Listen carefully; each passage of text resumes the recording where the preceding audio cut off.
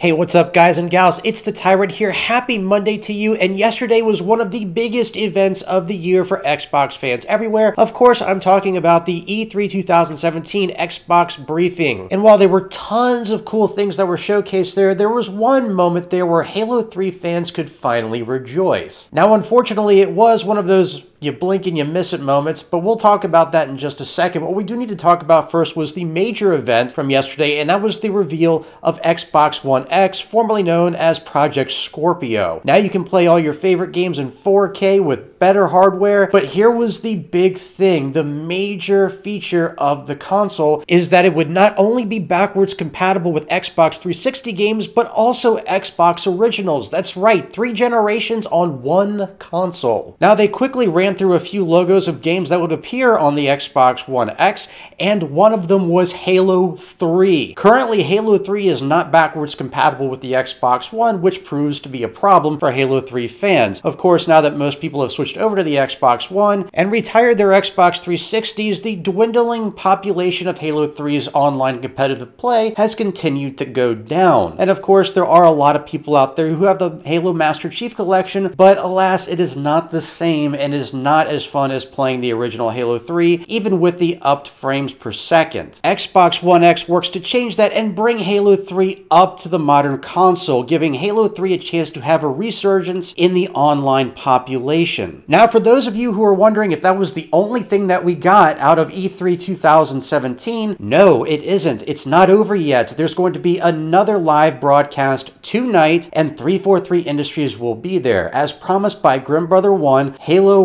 will be shown. Maybe not a huge thing, but something will be shown tonight. So I can't wait to find out what it is. Could it be related to Halo 3, or could it be something else entirely, maybe just Halo Wars 2. We'll certainly find out in a few hours. Remember, it goes live at 6 p.m. Eastern Time. So I know that update was short, but hopefully it was a sweet one for you, especially for Halo 3 fans everywhere. It's not Halo 3 anniversary, but it's at least a compromise and one we can work with for now. But please let me know in the comments below, are you looking forward to playing Halo 3 on the new Xbox One X? You can let me know in the comments below or hit me up on Twitter. Links to my social media can be found in the description below below. And if you like this video and you want to stay tuned for more updates on E3 and Halo, click that subscribe button for more video game related content every Monday, Wednesday, and Friday right here on mythictyrant.com. Thanks so much for watching, guys and gals. I'll catch you right back here next time. And as always, I'm the Tyrant, signing off.